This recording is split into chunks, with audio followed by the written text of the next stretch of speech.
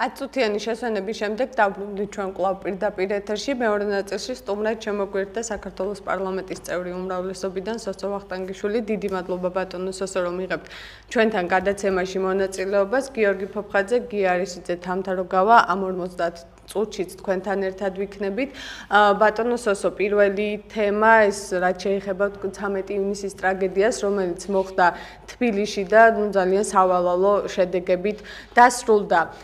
გუშინ სხვა შორის დავით ნარმანიამ გააკეთა უკვე განცხადება იმაზე, რომ გარკვეულწილად ამ ტრაგედიის გამომწვევი მიზეზი იყო ის ესტაკადა, რომელიც გიგი უგულავამ თავისი მერობის დროს ააშენა გმირთა მოედანზე, მაგრამ ნაციონალური მოძრაობა კატეგორიულად უარყოფს იმას, რომ ვთქვათ ეს ესტაკადა აშენდა ექსპერტების დასკვნის გარეშე.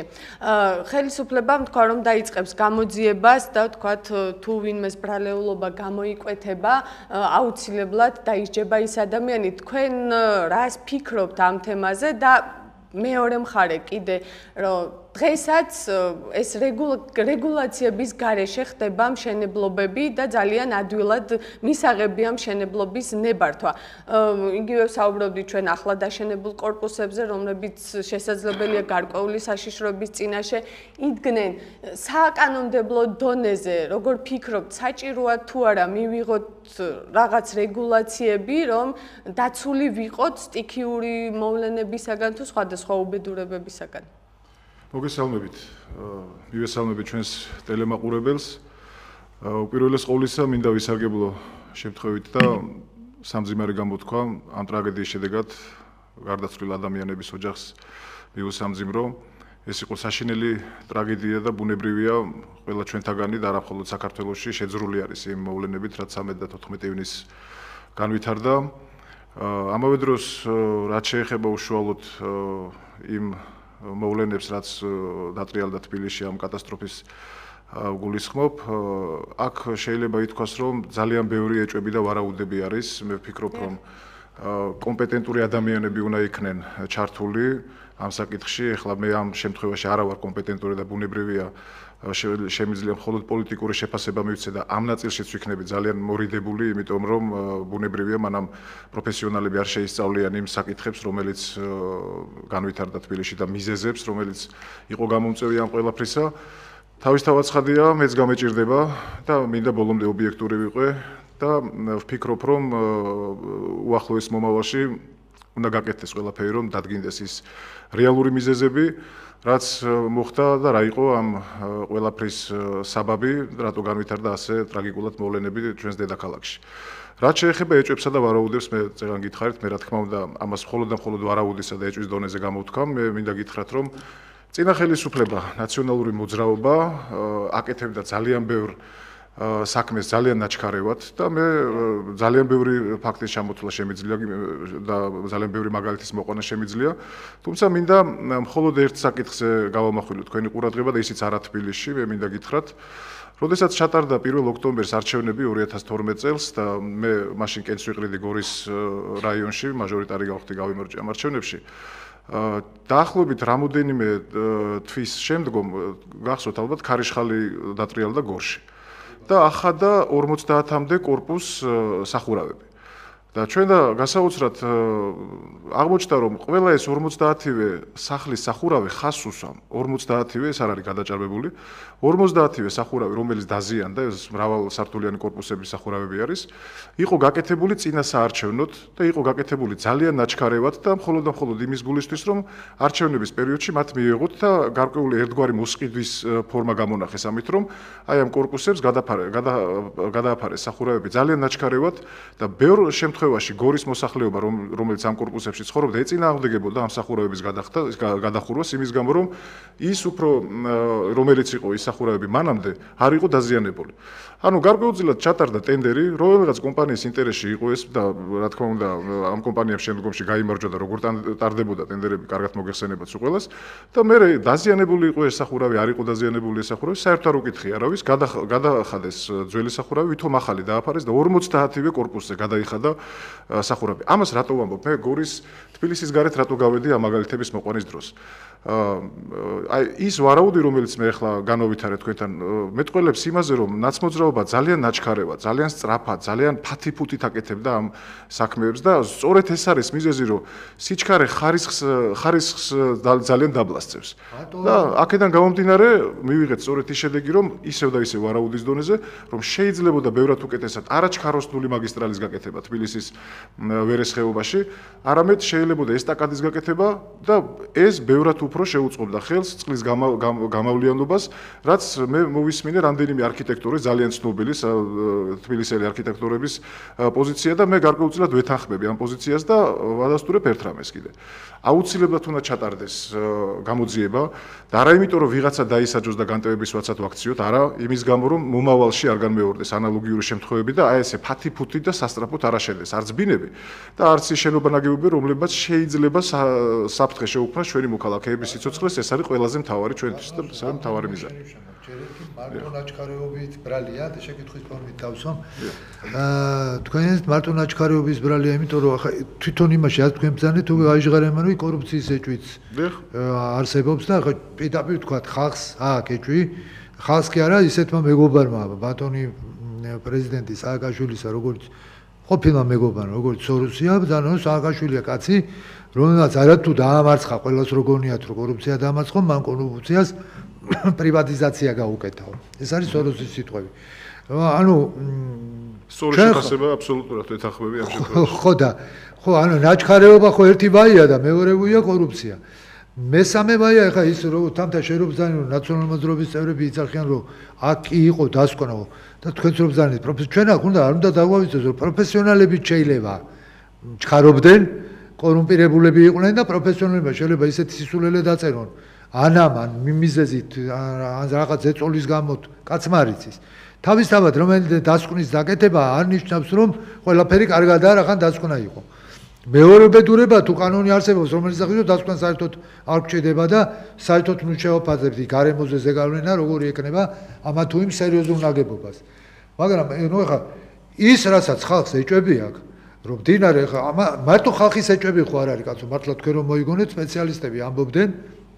ხა უღელი გადააგდო და ყურდღელი მოკლაო ესეც არის ნათქვამი მაგრამ ამბობდა ხალხი რომ არ შეიძლება ამის გაკეთება. მე ისიც მახსოვს თამთა ისე სტაკადები როა მე დამოინაზე ბატონოსოს რო ხალხი მე ამბობს რომ იქ ვაფშე საერთოდ მე ვცდილობ რომ არ გავიარო. კი. მე თვითონ არ ვიცი რა მიზეზით. როცა ჩემი პარტნიორი მეუნებოდა ხოლმე რომ ოფისში კაცო ხო ვაკეში გვაქვს და შენგან იოლი ამ გზით წამოდი რატო არ მოდიხარ ამ გზით და ძველი გზით დადიხარ ვარაზის ხევი და ჭავჭო მე არ მომწონს ეს გზა თქო ხო იმიტომ კი არა რომ თქვა მიშამა ეს გზა ნამდვილად კარგი იყო ყველა იმით ლოგიკით ეფექტური გამტვირთველი ქალაქის და ასე შემდეგ და ასე შემდეგ. ძალიან უჭირდება იქ ესეთი გზა პრინციპულად რომელიც ამ პუნქტებს აერთებს. მე არ ვამბობ რომ ესეთი ამნაირი ზუსტად და ესე აშენებული. ჩვენ ძალიან გვჭირდებოდა მაგრამ მე იმ გზას რაღაცა გაგძნობდი რამეს თუ რა არ ვიცი მაგრამ შესაძლებელია ხო არ მინდოდა და გავურბოდი. იშვიათად თუ გავივლიდი ხოლმე მასზე რა ეს ეს ხო რაღაც ამაზე ხო უნდა ვიფიქროთ კაცო მე ამ გზაზე ხო არ არის მარტო საქმე. ჩვენ ხო ის მეწყერიანობა რომელიც თუ მართლა იმეწყერმა დაასრულა ყველა მოვლენას და იმის ბრალი იყო და გზის როლი აქ შედარებით უმნიშვნელო იყო. ხო ხალხი ამასაც ეჭვობს. ამბობენ რომ რა ვიცით შეიძლება ჯერ ეს ამბები მოხდა დათმორვა და მე მეწყერი მოწყდაო და თქვენ რაღაცას არასწორად გვიყვებითო დღევანდელ მთავრობასაც ეუნებიან კი, არის ლოგიკა მაგაში. ხო, მაგრამ ჩვენ ხო სერიოზულად უნდა ვიფიქროთ, თუ ეს მეწყერიანობა მოხსნილია საერთოდ მონიტორინგი ქალაქის ეს სააკაშვილის დროს მოხდა, არსებობდა საერთოდ გეოლოგიური სამართლო უმძლავრესი ორგანიზაცია იყო საქართველოში და საერთოდ საბჭოთა კავშირში წამყვანი სპეციალისტების კერა იყო და ნუ ეხა დღეს ეს გადაქცეულია რაღაც ნუ არ მინდა იქ ყოფ ხალხს და იქ ვინც მუშაობს რამე შეურაცხყოფა მივაყენო, მაგრამ ნუ სასაცილოც კი იმასთან შედარებით, რაც იყო დღევანდელი. გია ელემენტარ ელემენტარულ ყველაფერსო თავი დავანებოთ, ეს იყო მე როცა ჩამოვედი ეს როცა აშენის თბილისში, ხო, პირველივე რაც მოხდა თვალში, ქალაქში ამ სტაკატების აშენება არ შეიძლება. ახლა საქართველოს სამწუხაროდ არიან ხომ ეს, რომ მეუბნებიან ევროპაში ესეა. ახლა 24 წელი ევროპაში მე ვმუშაობ და არის ხალხი რომ მასწავლის ევროპაში რა ხდება ხო? და იგივე NGO-შნიკების მასწავლებელი ყოფილი ყოფილი NGO-ები როგორ მუშაობენ? მეუბნები ეგრე არ მუშაობენ. შენ რა იცი მე შენზე უკეთესად ვიცი და მე ვცხოვრობ ევროპაში და შენ რანაირად იცი ჩემზე უკეთესად ამ მუშაობ ამ NGO-ებთან ხო? ამდენ წელი იგივე იყო აქაც.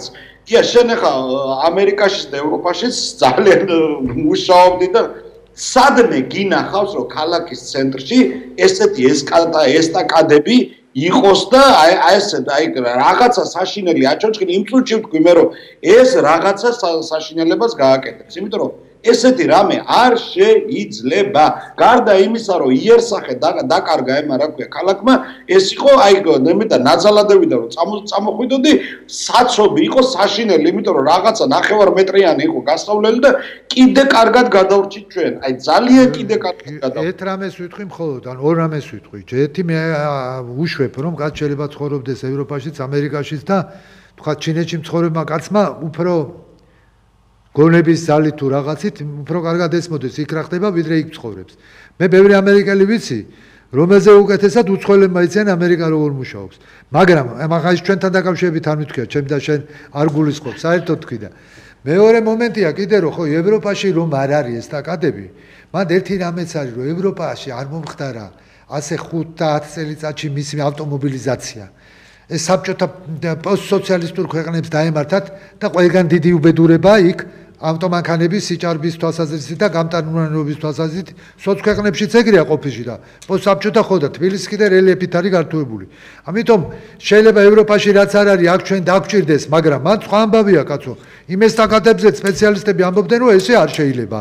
და ეხა მართლა არ შეიძლება რომ თქვა აგდო და თავი შეუშირო მთავრობა რახან ვარ არაფერს აფის არ ვკითხა. ამ სამწუხარო შემთხვევამ შემოიტანა თუ არა იმ წინადადების დაჩქარება რომ აუცილებელია რეგულაციები გამკაცრდეს ნებისმიერ მშენებლობის ნებართვაზე და იქნება თუ არა ეს წინადადება თქვა იგივე საკანონმდებლო ორგანოში შესული პარლამენტის მხრიდან მე მინდა გითხრათ რომ დღესდღეობით მე ფიქრობ რომ ამ საკითხზე ალბათ უფრო ნაკლებად מחვილდება ყურადღება და ეს ობიექტური ობიექტური მიზეზები აქვს ამას. იმიტომ რომ დღეს თბილისის მერიაც ანალოგიურად მთელი მთავრობა არის მობილიზებული აი ამ სტიქიური უბედურების სალიკვიდაციო სამუშაოებს და განსჯის და ანალიზის დრო დადგება უცილებლად. ალბათ დაახლოებით ერთი კვირა კიდე დასჭირდება რომ მეტნაკლებად უკვე ეს ეს შედეგები რაც ტიქიამ გამოიწვია იქნეს ლოკალიზებული.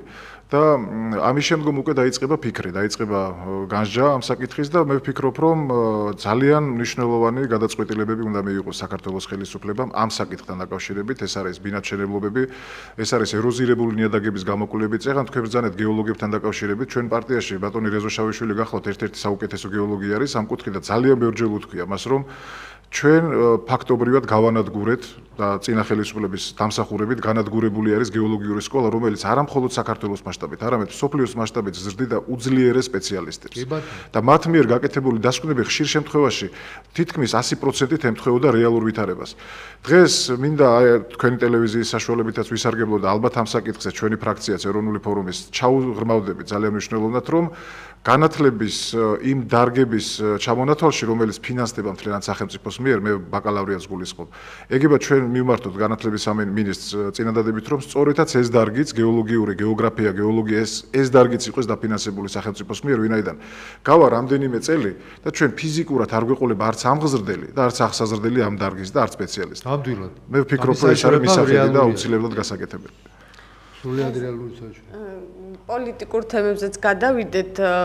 ბატონო სოსო რამდენიმე დღის წინ თუ არ ვცდები ორი დღის წინ თინახი და შელმა უბრალოდ გავცელდა ინფორმაცია იმის შესახებ რომ თავდაცვის მინისტრმა თინახი და შელმა საფრანგეთთან მოაწერა ხელშეკრულებას ხელი რომელიც თავდაცვითი სისტემების შეძენას გულისხმობს საჰაერო თავდაცვითი სისტემის შეძენას გულისხმობს.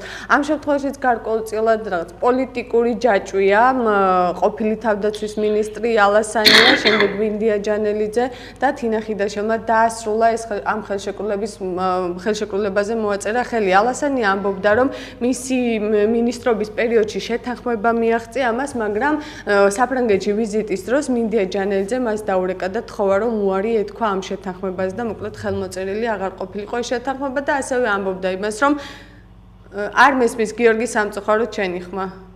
თინა ხელს მე მე მე მე кайფებოდი რომ ტელეფონები გამორთებეთ ეხლა რომ არავინ არ დაკირეკოს მინდია ჯანელიძე აცხადებს რომ მისი თავდაცვის მინისტრობის დროს მომზარდა ეს ხელშეკრულება და უკვე თინა ხიდაშელმა მოაწერა. თუმცა ალასანია დღემდე ამბობს იმას, რომ მისი თანამდებობა, მისი პოლიტიკური, უფრო სწორედ პოლიტიკოსობა შეწირა ქართულმა ოცნებამ ამ შემთხვევაში ბიძინა ივანიშვილსაც ადანაშაულებს ის ზუსტად ამ ხელშეკრულების ხელმოწერას. თქვენ რას ეს ბატონ სოსოთან ერთი ეგებო შემოვიყვანოთ. ხო, უპასუხოთ. და მე უპასუხოთ ამ კითხვას. ბატონო. მოგესალმებით და გისმენთ. გისმენთ, გამარჯობა. გამარჯობა. ძალიან სასიამოვნოა რომ სტუდიაში პარლამენტის წევრია ზუსტად მაგასთან მინდოდა ერთი შეკითხვა დამესვა. გასაგებია რომ ისაუბრეთ ისმენთ. აწყდა თქვენი ხო? დიახ, გამარჯობა. გამარჯობა. ძალიან სასიამოვნოა რომ პარლამენტის წევრია მასში სტუდიაში და ზუსტად მაგასთან მაქვს ერთი ძალიან შესაკითხად. გასაგებია რომ გასაგებია რომ მათ ჩვენამ მოძრაობამ ბევრი ქვეყნისთვის საჭირო სამინისტრო და სამსახურები გააუქმა. მაგრამ მთელი 3 წელიწადია ის გაუქმებ ხალხი რომ გეხვეწებათ აღადგინეთ შენებლობის სამინისტრო ის საჭირო სტრუქტურები. რასაკეთებთ რატომ ხალხს არ უსმენთ ყოველ საათში დემოკრატიას რომ ლაპარაკობთ. დემოს ხო იცით რომ ხალხია და ხალხის მართლობა ხალხს რატომ არ გასაგებია. აი მაინტერესებს. გასაგებია, დიდი მადლობა ზარისათვის. გისმენთ. აა ჯერ ჯერ უპასუხოთ მაყურებლის შეკითხვას და შემდეგ უკვე მე არ ვიცი ცალკე შენებლობის სამინისტრო მე მგონი არც არასდროს არ არსებობდა ეს დარგი კონკრეტულ სამინისტროებში ხო ხოლმე წარმოდგენილი დეპარტამენტის და სხვადასხვა სამსახურების მათ შორის არქიტექტურის სამსახურის და კომუნისტების პერიოდში შესაძლებელია იყო მე არ არ მახსოვს ის პერიოდი არ ვიცი საბედნიერო თუ საუბედუროთ მაგრამ ყოველ შემთხვევაში მე ესეთი რამ დამოუკიდებელი საქართველოს ისტორიაში არ მსმენია რომ ცალკე ყოფილიყო ესეთი დარგი თუმცა აუცილებელი არ არის რომ მაინც და მაინც სამინისტრო შეიქმნა შენებლობასთან დაკავშირებით. მე ვფიქრობ, რომ სპეციალისტები, პროფესიონალები, რომლებიც მობილიზებული არიან ამა თუ იმ ან გაფანტული არიან ამა თუ იმ სხვადასხვა და სამსახურებში, მათი ერთობლივად თავმოყრა შეიძლება რომ გაკეთდეს, თუნდაც დეპარტამენტის, სამშენებლო დეპარტამენტის დონეზე და არ ვიცი ახლა თუ მაინც და მაინც საჭიროება დადგება იმისათვის, რომ აი ასეთი ტიპის სამინისტრო იყოს შექმნილი, შეიძლება ამაზეც ფიქრი და ყოველ შემთხვევაში ამაზე არავინ არ გაჯიუტებულა და არავის არ უთქვია უარი. თავარი აქ არის ხარისხი. კიდევ მეორე ხარისხი საზიანებს სიჩქარე, სიჩქარე ვისახასიათებდა კარგად გახსოვთ, მე კიდევ ერთ მონაკვეთს ერთ მომენტსაც გეტყვით. გახსოვთ ალბათ იგოეთის მონაკვეთი, გორი იგოეთის დამაკავშირებელი სტრაფი ის რო არის ესტაკადა. აი მანდაც ესე იგი სააკაშვილი მან ძალიან ბევრი გორელი მუშაობდა და რადგანაც მე მაჟორიტარი ვარ, ძალიან ბევრი ინფორმაცია მქონდა ამ მუშებისგან, რომლებიც იქ მუშაობდნენ და ჩამოდიოდა ყველა პასუხისგებელი პირი და ეუბნეოდა რომ სასწრაფოდ რაც შეიძლება სწრაფად გააკეთეთ გზის ეს მონაკვეთი, იმიტომ რომ ფორმულა 1-ის მანქანით სააკაშვილმა და გიგი უგულავამ უნდა გაისერნონ აი ამ მონაკვეთსიო. შემდეგ თუ გახსოვთ ამას ებრაული ფირმა აკეთებდა, აშენებდა აი ამ ტრასის მონაკვეთს და რამოდენიმეჯერ თვითონ ფირმის ხელმძღვანელმაც უთხრა რომ როგორ არ გიყვართო თქვენი ქვეყანაო, როგორ არ გიყვართო თქვენი სამშობლო, რომ აი ესეთ რაღაცას მაკეთებინებთო. ებრაელმა კაცმა რომელიც ფულის ნუ ეს ერთგვარი მოგების საშონელად მოიგო შემოვიდა ამ ტენდერში მოიგო და მისთვის შესაძლებელია უფრო ხელსაყრელიც ყოფილიყო დროის დაზოგვა და ასე შემდეგ. იმ მოგებას არაპირებდა ეს. რა თქმა უნდა. და იმდენად წესიერი კაცი იყო რომ უთხრა ამ რამოდენიმეჯერ ამ ადამიანებს რომ არ გიყვართო თქვენ თქვენი ქვეყანა, რას აკეთებდო, რას მაკეთებინებდო და ეხლაც ჩემი სიტყვების დასტურად, აი თუ დასავლეთის მიმართულებით მოგიწევთ გადაადგილება, დააკვირდით იგოვეთიდან გორამდე ტრასის მონაკვეთს, რამდენგან არის ჩაკერებული, რამდენგან როგორი უხარისხოთ არის გაკეთებული და შემდგომ დააკვირდით უკვე აი ახლა როდესაც იქ სუბსანებლობა სულ იქ ჩაკეთე ხდება. შემდეგ ეს ებრაული ფირმა ფირმის ხელმძღვანელი დაიჭირეს. ციხეში ჩასვეს. მთელი ქონება ეხლა თუ ნახავთ მარჯვენა მხარეს იგორის მონაკვეთზე, იგოეთის მონაკვეთზე არის დაყადაღებული. დღესაც სასამართლო მიმდინარეობს და არ ვიცი კიდე რას დამართებდნენ, რო არ შეცვლილიყო დროზე ეს ხელისუფლება არ ამხოლოდ ამ ებრაელ ბიზნესმენს და კიდე სხვებს ვიცით საქართველოსში რაც ხდებოდა. სიჩქარე ყოველთვის ესე იგი აზიანებს ხარისხს და აქედან გამომდინარე ჩვენ ვფიქრობთ რომ არ უნდა ვიჩქაროთ ნებისმიერი გადაწყვეტილებების შემთხვევაში და დემოკრატია სწორედ ქალბატონმა რობზან არის ის რომ გადაწყვეტილება დემოკრატიის პირობებში მიიღება ნელა და მათ შორის ცუდი გადაწყვეტილების ალბათობა ნაკლებია და ცუდი გადაწყვეტილება გადაწყვეტილებაც ნელა მიიღება, იმიტომ რომ ჩვენ გვექნება ადამიანებს საზოგადოებას აქვს საშუალება რომ დეტალურად გაეცნონ ამა თუ იმ გადაწყვეტილების შინაარსს და მე ან დაეთახმებიან ან არ დაეთახმებიან, მაგრამ წინა ხელისუფლების პირობებში სწრაფად, ჩქარა, აი რა მივიღეთ, სწრაფად და ჩქარა გაკეთებული საქმეებით. ისე რომ დემოკრატია ამ შემთხვევაში არის იმ პოზიციაზე, რასაც მე ვსაუბრობ. სიტყვა უთხრათ ქალბატონს, მართლა დემოკრატია ქალბატონო არ ნიშნავს პირდაპირ მნიშვნელობით კი ნიშნავს ეს უძველესი სიტყვა და მაშინ ნიშნავდა, მაგრამ ანტიკურ დემოკრატიასა და დღევანდელ დემოკრატიას შორის ერთ-ერთი უმთავრესი განსხვავება სწორედ წარმომადგენლობითი დემოკრატია, წარმომადგენლობითი ხასიათია თანამედროვე დემოკრატიის.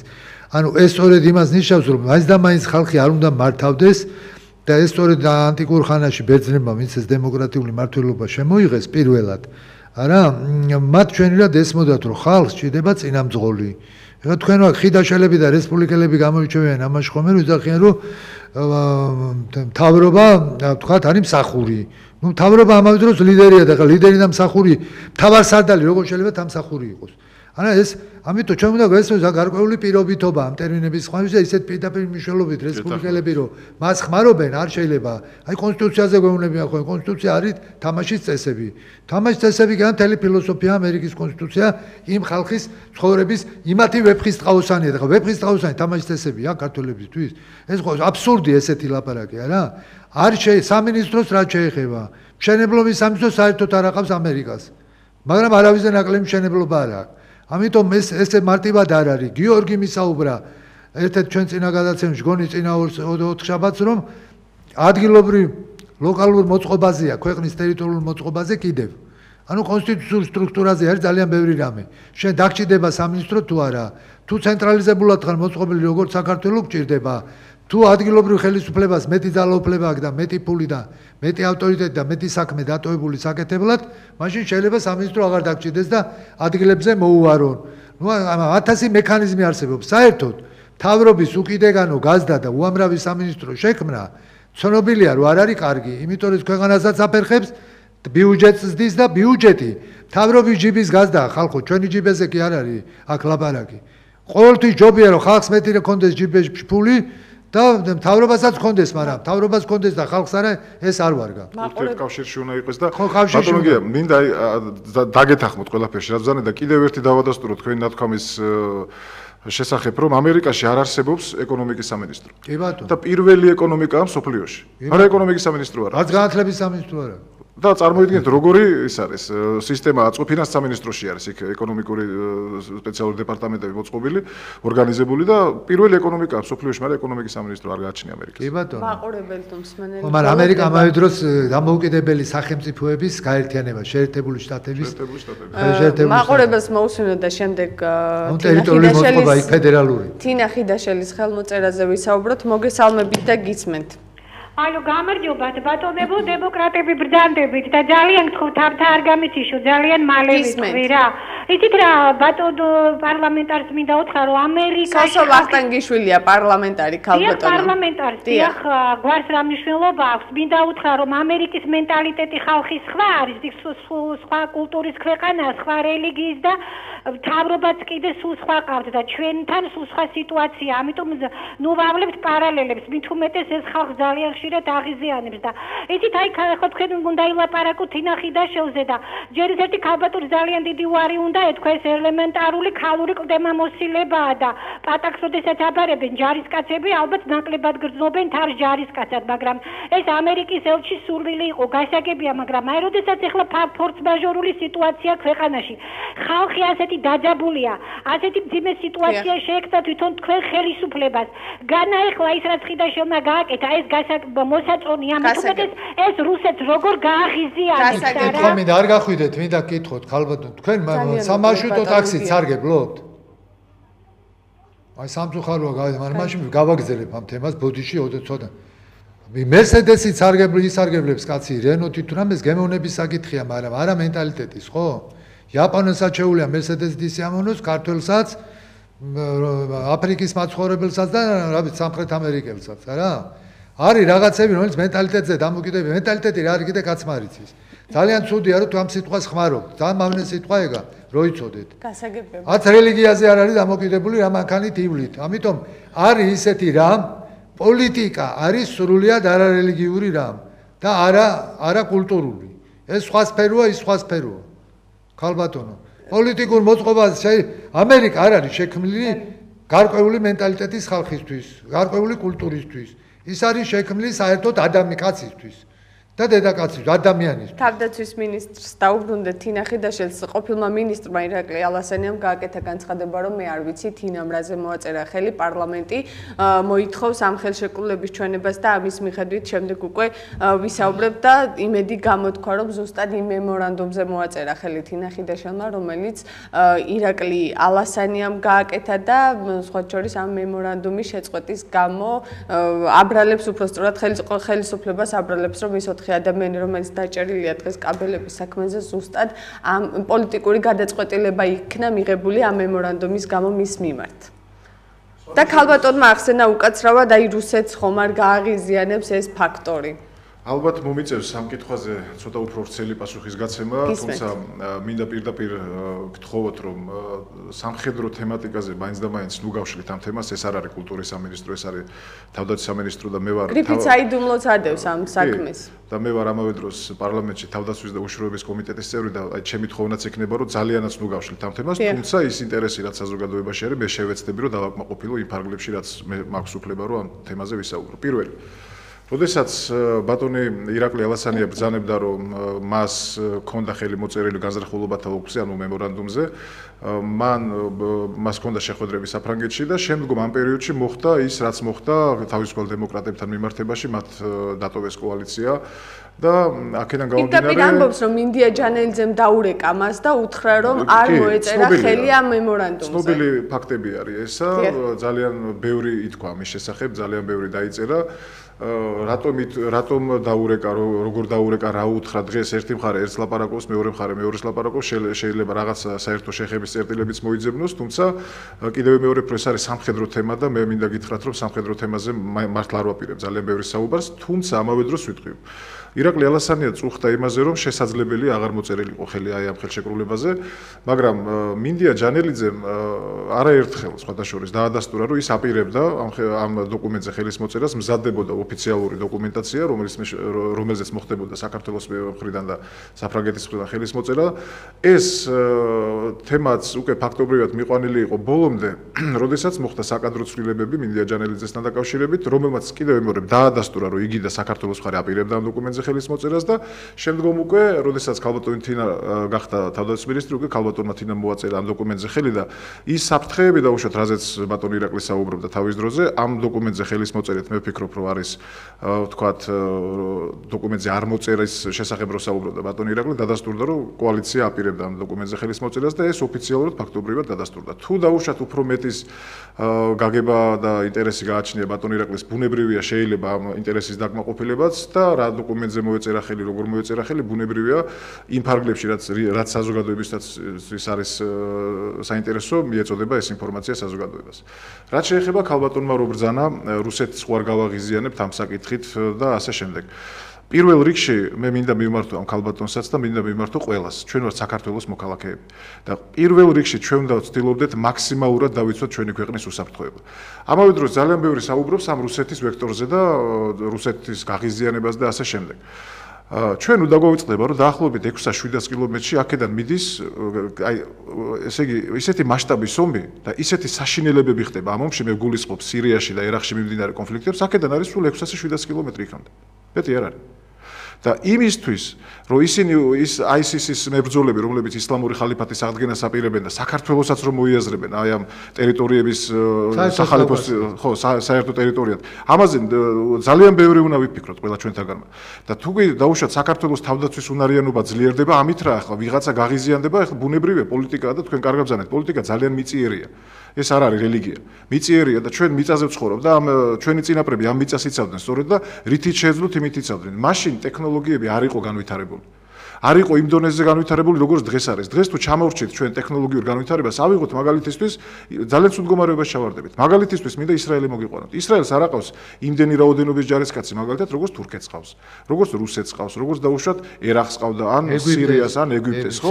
მაგრამ ის ხუთდღიანი ომი და ექვსდღიანი ომი გვახსოვს, ხო? რა დღეს ჩაყარა ერთი კვირის განმავლობაში ისრაელის არმიამ და რატო გააკეთა, რატო გამოიმარჯვა ისრაელის არმიამ? გამოიმარჯვა მხოლოდ და მხოლოდ იმიტომ, რომ ტექნოლოგიურად გაუსწრო ყველა იმ ხელის სახელმწიფოს, რომელიც მას ესაზღვრება. ესწრებოდა. ამიტომ ჩვენი შეერაღების ტექნოლოგიური პროგრესისკენ გადაიარაღებით ჩვენ იქ დისციპლინითაც და თქმა უნდა რა თქმა უნდა და მე ბუნებრივია სამხედრო ინტელექტი. და მე გარეშე ძალები ძალიან სერიოზული დახმარება ქონდა შეერთებული შტატებისგან. ეს აუცილებლად უნდა ითქვას და დღესაც გრძელდება ეს დახმარება. ერთ-ერთი ყველაზე დიდი სტრატეგიული მოკავშირეა ისრაელი შეერთებული შტატებისთვის და დასავლეთის სამყაროსთვის ზოგადად.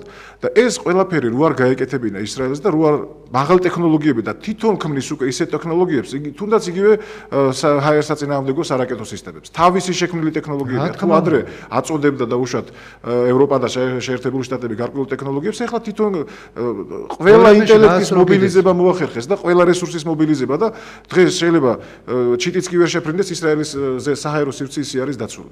და მე ერთსაც შეგახსენებთ 2008 წლის ომი ბუნებრივია ბოლოს ისევ იგივე შედეგი დასრულდებოდა, რა შედეგითაც ეხლა დასრულდა, შეიძლება უბრალოდ მსხვერპლი ყოფილიყო ბევრი, უფრო მეტი თუ გაგრძელდებოდა ეს ვადაში და დროში თუ გაიწელებოდა, მაგრამ საქართველოს რო ქონოდა საკმაოდ სოლიდური ჰაერსაწინააღმდეგო თავდაცვითი სისტემები და სხვა სისტემები ტანკსაწინააღმდეგო და ასე შემდეგ შეიძლება ბევრი დაფიქრებული იყო საქართველოსთან შეერაღებულ კონფლიქტზე. იმიტომ რომ ეს სწრაფად ვერ მოგვარდებოდა, სწრაფად არ დამთავრდებოდა და ბუნებრივია ის მეორე მხარეც სხვაკლით სხვა იქნებოდა და იმ მხარესაც სხვა სხვა შედეგით დაუმთავრდებოდა. ხო, არა, იმ მხარეც სხვა გულისხმობ ის დააფიქრებდა, სწორედ სხვა. სწორედ ის დააფიქრებდა, ამის თქვა მინდა ზუსტად. როდესაც ძლიერი ხარ, ეს არ ნიშნავს იმას, რომ შენი სიძლიერის დემონსტრირება უნდა მოახდინო ყოველთვის, მაგრამ ყოველთვის მუშაობს ომისთვის გინდოდეს. ომისთვის გინდოდეს, დიახ. ყოველთვის მუშაობს შენი პრევენციისთვის. სწორედ იმ შემტეზე პრევენციისთვის. ეს არის ზუსტად. მარგარიტ ტეჩერი იყო გახსოვთ 80-იან წლების ბოლოს საბჭოთა კავშირში სტუმრად და დასვეს საუკეთესოდ მომზადებული ანალიტიკოსები მარგარიტ ტეჩერის წინააღმდეგ და კგბ-ს ძალიან გამობზმედილი ხალხი, ვითომ ჟურნალისტები და მარგარიტ ტეჩერს ეკითხებოდნენ რომ თქვენო რადგინდათო ბირთული არაღიო. რა ჩვენ ხო საბჭოთა კავშირი შვიდობის სიმბოლო ვართო ჩვენო თავდასხმას არავიზე არ ვაპირებთო. და თქვენო აიღეთო და უარი თქვითო ბირთული არაღზეო და მე რო ჩვენც უარს ვიტყვითო ბირთული არა რა უპასუხა იცით ქალბატონო მარგარეტ ტეჩერმა მან უთხრა რომ ეს არის ყველაზე დიდი თავდაცვის საშუალება დასავლ ჩვენი ქვეყნისთვის და ასევე დასავლეთისთვის. და ეს ისე იქნა ახმული მაშინ რომ ესე იგი აი ინგლისი რაღაც ბირთული არაღი აქვს ინგლისს რაში სჭირდება თავდასხმა სხვა არავინ არ აპირებს სწორედ იმისთვის სჭირდება რომ არავინ დააპიროს თავდასხმა და ჩვენც უფრო ძლიერი უნდა ვიყოთ ამ საკითხში ბატონო სოსო საბჭოთა კავშირის ნამდვილად სამხედრო დროქნებში ეწერა რომ პირველად არაპირებს ბირთული არაღის ხმარას. ამ დროს ჩვენ ყავს მეზობლები რომლებიც პირდაპირ ამბობენ მე რომ პირველ ჩაწერეს სამხედრო დროქნაში ახალში რომ მათ უღლება აქვს რომ იხმარონ ბირთული არაღი 1000 მიზნებით რა. ახლა შემთხვევაში ამ პირველი საბჭოთა კავშირი ამისგან გასხვავდება დღევანდელი რუსეთი. რა შეიძლება იმას ვინც თქვენ იგულისხმეთ სამხრეთში რო არიან, ისინი საერთოდ პირველად ვიხმარო არ ვიყ ამაზე არ ლაპარაკობენ. ის ამბობენ რომ ყოფა უნდა გიტიროთ და მიგიერთ მოგიერთოთ და მიგჟილით მოგჟილითოთ, არა? ამიტომ მე ხა ის ჩვენი მაყურებელი ქაბატონ თუ ბევრ ამაზე ღიზიანდება, თუ ღიზიანდება იმაზე რომ არ იცის რომ მენტალიტეტის სფერო არ არის ყველაფერი და კულტურის ქართველები დადიან ისეთ ქვეყანაში, რომელშიც შეიძლება წასვლასულად არ უხარიათ, მაგრამ ოპერაციის გასაკეთებლად დადიანი, ხო? სულ განსხვავებული რელიგიის ქვეყანაში. იმიტომ რომ საქართველოსზე უკეთ ოპერაციასაც ხელმისაწვდომი აქვს. ამდენი თანხა გააჩენია. არა, ასე ეს პოლიტიკა წესია. შეიძლება შენ ისეთი ქვეყნის პოლიტიკური მოწყობა გადმოიღო, რომელიც იმ ქვეყნის კულტურაზე კი არ არის აწყობილი. არამედ საერთოდ ადამიანზე. თანსაცმელი გვაცვი აგერ საფრანგეთში შეკერილი. ფრანგებისთვის კი არის შეკერილი, ყველასთვის არის შეკერილი. ამიტომ არის ესეთი რაღაცები, რომელიც არ გააჩნიათ რელიგიური კავშირში კი არიან. ფრანგული თანსაცმელი კავშირშია ფრანგულ კულტურასთანაც, ფრანგულ გემოვნებასთანაც და რელიგიასთანაც, კათოლიკურთან, მაგრამ ეს არნიშნავს, რომ ის უფრო მეტ კავშირში ის არის ადამიანთან. და ყველა ადამიანს ერგება ამიტომ. ია უპასუხოს და მაყურებელმა დაგვისვა შეკითხვა არა მე ეხა ჩემზე უკეთესად ალბათ არავინ არ იცის აი ამ კონტრაქტთან დაკავშირებით იმიტომ რომ როგორც კი ასანიამ დაიწყო მაშინ საუბარი იმაზე რომ ამანდამირეკა იმანდამირეკა იმ დღიდან მოყოლებული მე თვალს ვადევნებ არა მარტო თვალს ვადევნებ ერთადერთი ჟურნალისტი ვიყავი საქართველოს ემაში რომელმაც მოიფიქრა და თავდაცვის სამინისტროში დარეკა. საფრანგეთის თავდაცვის სამინისტროში და გაიგო ის რა რა უნდა და ალასანიას და რაზე იყო ლაპარაკი და ზუსტად საფრანგეთის თავდაცვის სამინისტრომ გადამომისამართა მე ფირმასთან ტალესთან რომელთანაც ჩვენ ახლა მოვაწერეთ ხელი და საუბარი იყო იმაზე. ტალესმა მე პირდაპირ მითხრა იმა მაშინ მე რომ მათ არ გაუწყვეტიათ არანაირი ეს არა ქვია ურთიერთობა არც მინდია ჯანელიძესთან და მიდიოდა მოლაპარაკებები ამ თემაზე. მე მაშინ თქვი რომ ეს იყო უბრალოდ პოლიტიკური სპეკულაციის მომენტი და არც მეტი არც ნაკლები მე შეიძლება იმაზე მეტი ვიცი ვიდრე ჩვენმა დეპუტატმა იცოდეს და საერთოდ საერთოდ საქართველოსი აი იცოდეს რა თქმა უნდა არ არის გამორიცხული. კი მე ხა მე ტალეს ტალესთან ძალიან კარგი ურთიერთობა ჩავამიყალებ და აი მე მასე რა ქვია და მაგი არა ესეც კი მინდოდა აი პატარა მანქანის მანქანის წამოღება ხა აღარ შევეცილე თავდაცვის სამინისტროს თორე მე მქონდა პრეტენზია ეს მინი მანქანის წამოღება მინდოდა რომელიც ტალესმა ემასა რა ქვია მაგიდაზე ზეიდო ხელმოწერის დროს და ძალიან ვითოდა რომ ეს მე მქონებოდა. ხო, ძალიან ბევრი ვიცი მე ამ კონტრაქტზე იმაზე მეტი ვიდრე შეიძლება ბევრმა იცო, არ იცოდეს და შეიძლება ვინმე ვიცოდეს საქართველოს. ხო, ეს არის თავდაცვი, აბსოლუტურად თავდაცვის იარაღია.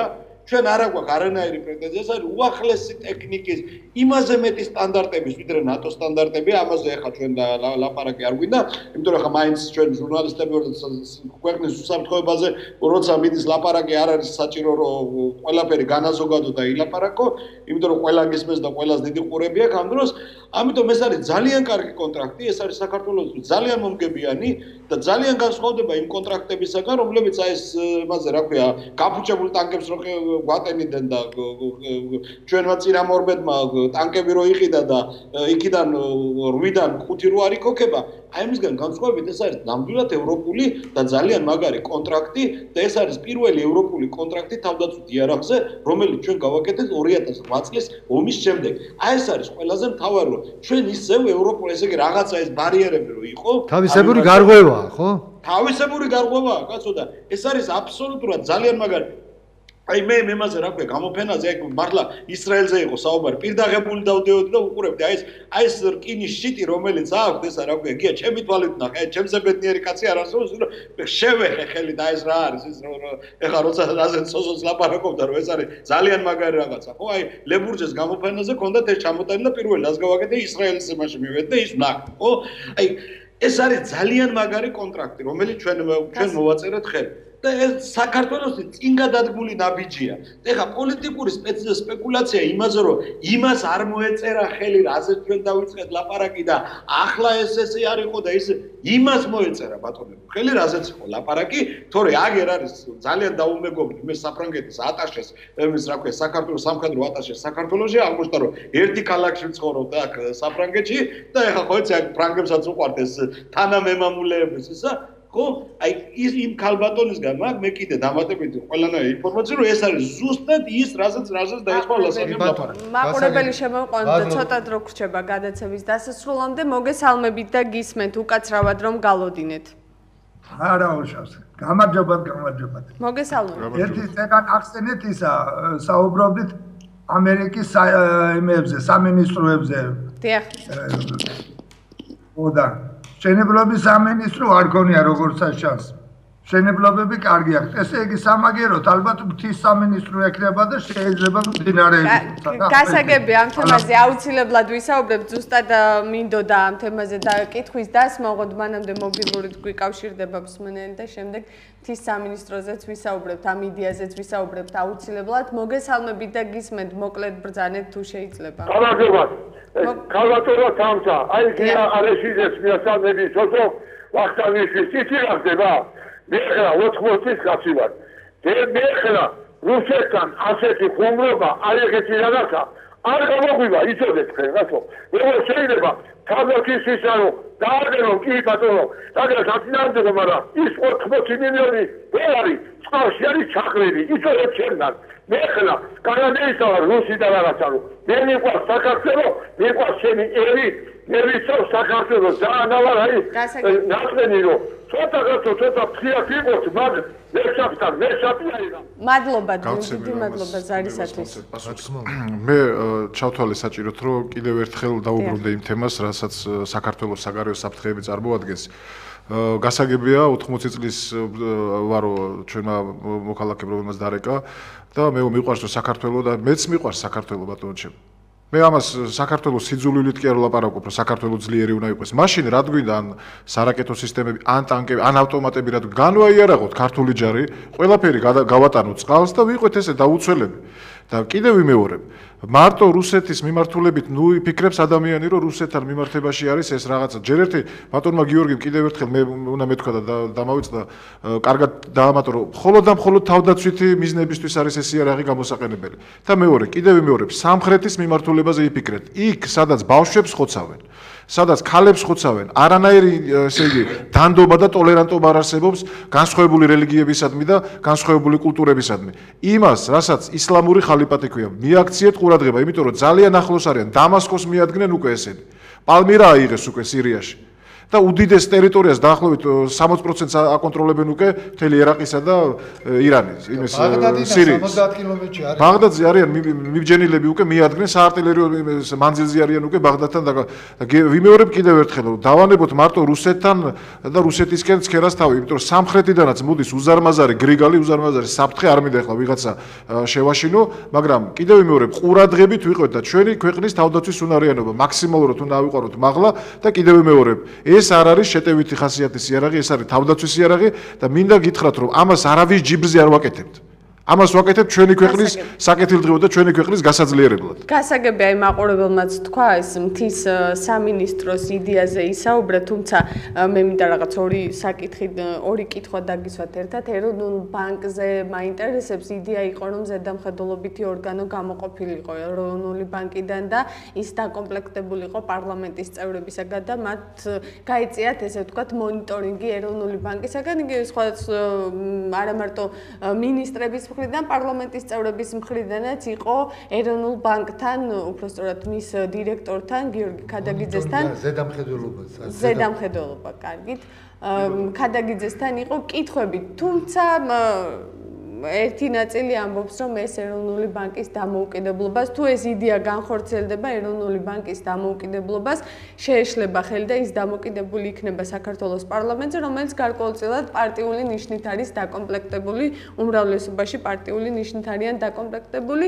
თქვენ რას ფიქრობთ ამ თემაზე და ასევე მთის სამინისტროს იდეაზე, რამდენად ხელს შეუწყობს უბრალოდ იქნება თუ არა გადამწყვეტი მთისათვის ხელი შეწყობა ეს თუ ჩამოყალიბდება ჩამოყალიბდება ცალკე სამინისტრო რომელსაც მთის სამინისტრო დაერქმევა კი ბატონო. საიდან დავიწყო? მთის სამინისტროდან დავიწყო? პირველი კითხვით ეროვნული ბანკიდან კი ბატონო ეროვნული ბანკის მიმართ ჩვენ საზოგადოებაში იყო ძალიან ბევრი ეჭვი გაჩენილი და მინდა გითხრათ რომ საფუძვლიანი იყო ეს ეჭვები. მე პირადად, როდესაც ხელისუფლება ძღიად საუბრობდა ამ ეჭვებზე. დიახ, ბატონო, როდესაც ბანკის პრეზიდენტი იყო მოგზანებული პარლამენტში, შესაბამის კომიტეტში, მოსმენაზე, მე მას დაუსვი ორი კითხვა. რომელ კითხვებზეც პასუხი ვერ მივიღე. მე არ ვიცი მას გამურჩა თუ არ გამურჩა, მაგრამ მე ვაპირებ არ მიპასუხა ამ კითხვებზე. მე ვაპირებ რომ შამ კომიტეტის შემდგომ ანგარიში თუნდაც წარდგეს პარლამენტის წინაშე უკვე სესიაზე ეროვნული ბანკის პრეზიდენტი და მე ამ კითხვებს იქაც დავაკონკრეტებ უფრო გავშლი და უფრო დაწურილები და უფრო დიდ დროს დავუთმობ ამ კითხვებს.